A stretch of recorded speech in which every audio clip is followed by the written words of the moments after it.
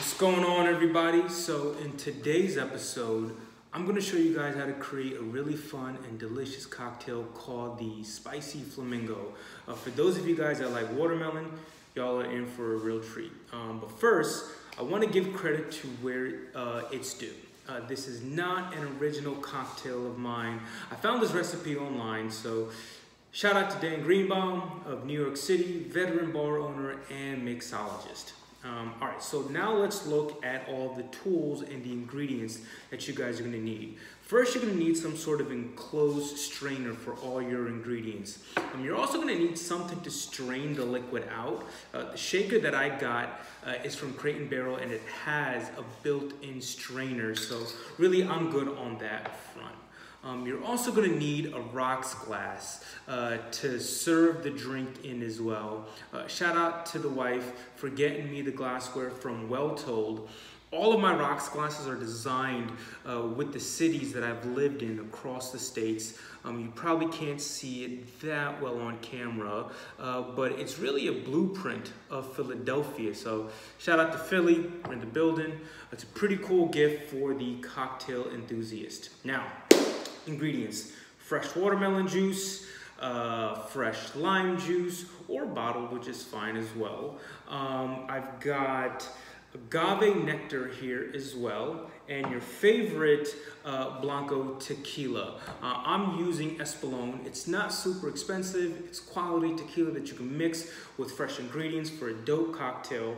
And the garnish, which is gonna be chili salt. I use Tajín, which you can get from your local grocery store. So let's get started.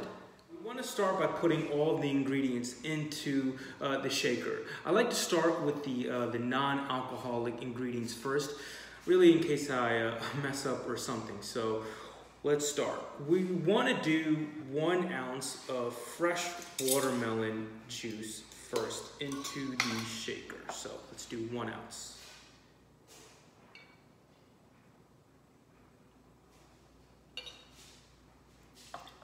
I'm gonna give it a little more love. Just because. All right, so, you know, what I did was I got fresh watermelon slices, put them into a blender, and then strained the pulp out. Um, even without a cocktail, watermelon juice is just really delicious. I mean, as you can see, I've got, you know, at least one and a half mason jars full. Um, I keep it in the fridge for a few days and just drink it. You know, it's really good, really refreshing. So after that, half an ounce of agave nectar. Let's put that in there. It's about half an ounce. Get that all in there.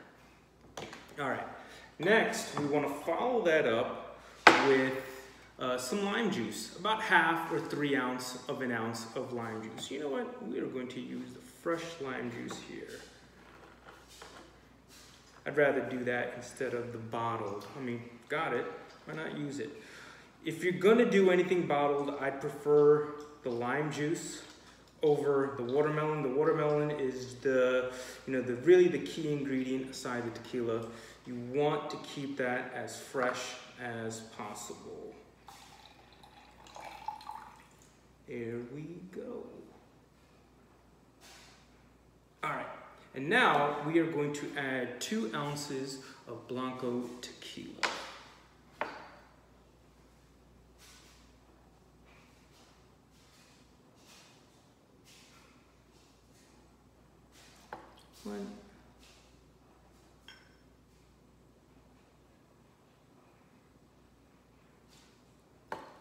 Two.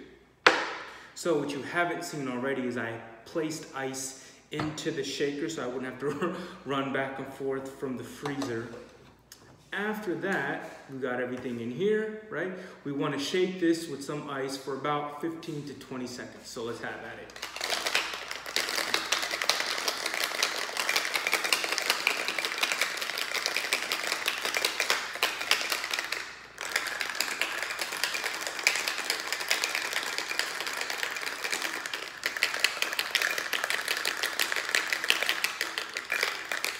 All right, now after that, we're gonna pour everything out from the strainer into the rocks glass. Before I do that, we want to put a nice little ice cube in there as well. Boom. All right. Here we go. Looks good, doesn't it? Now, this drink, this cocktail is called the Spicy Flamingo for a reason. So, after we get all of that in there, what I'm going to do now, we're going to garnish it uh, by sprinkling a bit of chili sauce over the ice before we serve it. So.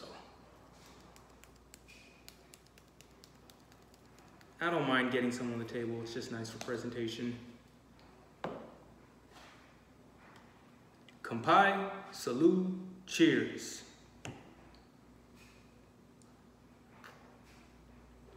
Oh, that joint's delicious. All right, there you have it, people. A spicy flamingo. Again, shout out to Dan Greenbaum for the invention. If there are other cocktails that you'd like to see me make, add them into the comment section, or if you have any interesting variation, share them below. So, hit the subscribe button, like, share, peace.